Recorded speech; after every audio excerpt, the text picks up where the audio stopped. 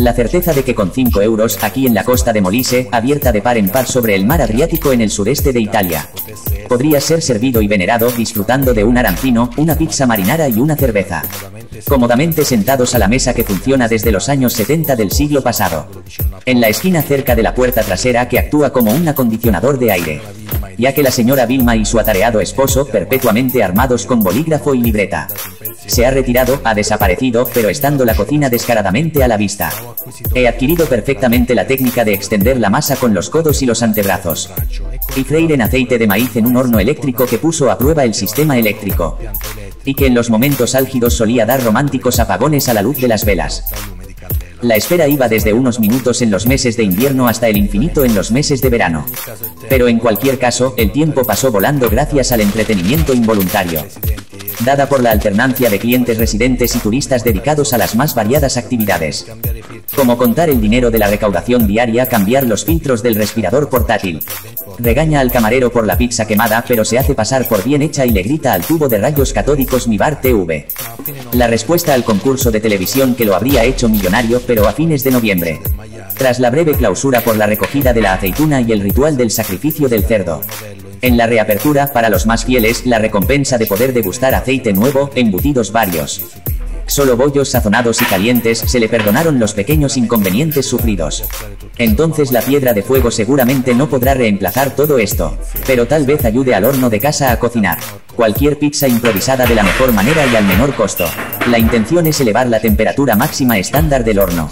De 250 grados centígrados a más de 300 quizás cerca de 400 para cocinar en unos minutos. De una pizza tradicional tipo napolitana, el horno en cuestión es un blend de unos años. De producción y estándares italianos en acero inoxidable, gas y con parrilla eléctrica. Después de encender el horno a máxima potencia coloco la piedra refractaria de cordierita en la parrilla. En la parte inferior del horno, prácticamente a unos centímetros del quemador de gas. Puse una sartén de hierro boca abajo en el estante central para reducir la habitación. Del horno a calentar y coloco un termómetro de horno chino por unos euros en la piedra refractaria para comprobar la temperatura real.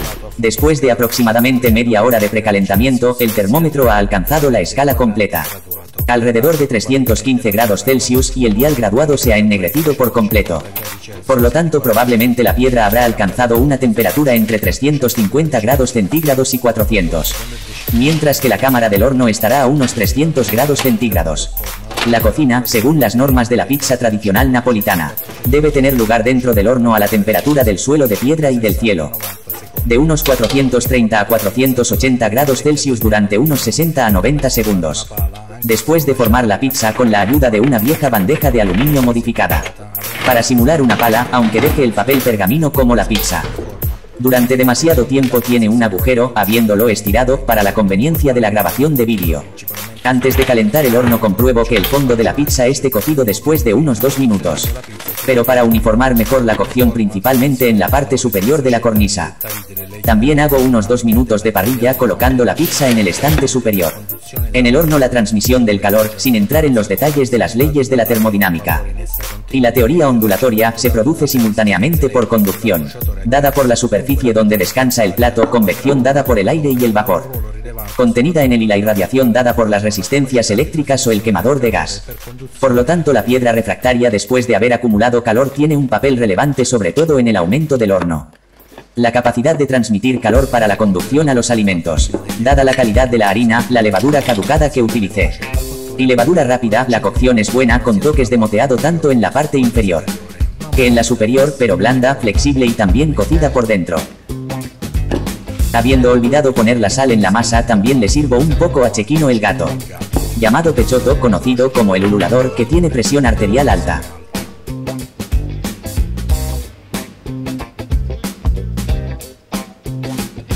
Trato de limpiar los residuos de condimentos que se han carbonizado en la piedra. Utilizando un paño húmedo y esponjas abrasivas pero sin ningún tipo de detergente.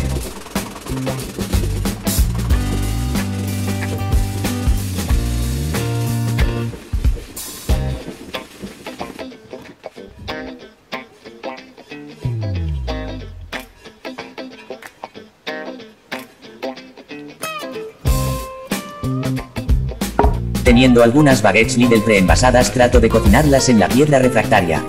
Las instrucciones en el paquete dicen que termine de cocinar. Después de haberlos humedecido con 10 minutos en horno estático a 180 grados centígrados.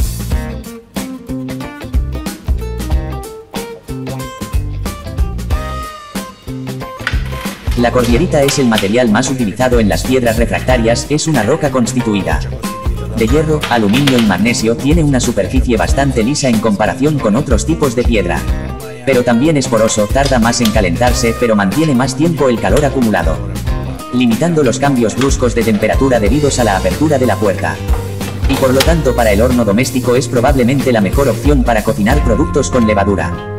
Es muy resistente a las altas temperaturas, totalmente atóxico y gracias a la porosidad absorbe la humedad facilitando la cocción. Pero no te excedas con el agua a la hora de limpiarlo ni lo laves en el lavavajillas.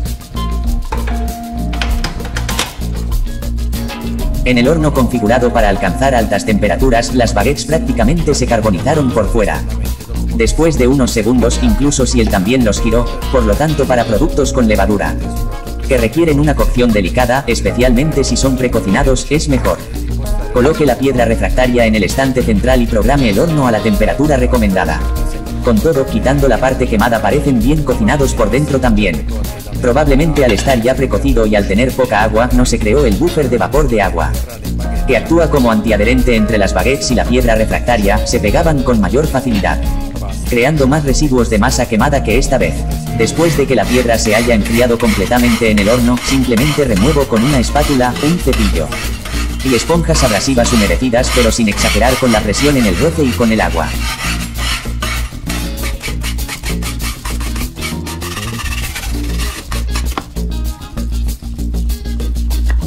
Para eliminar aún más los residuos también utilicé la técnica que utiliza la pirólisis que gracias a temperaturas superiores a los 400 grados centígrados activa un proceso de combustión que quema todos los residuos de alimentos, grasas e incrustaciones presentes convirtiéndolos en cenizas.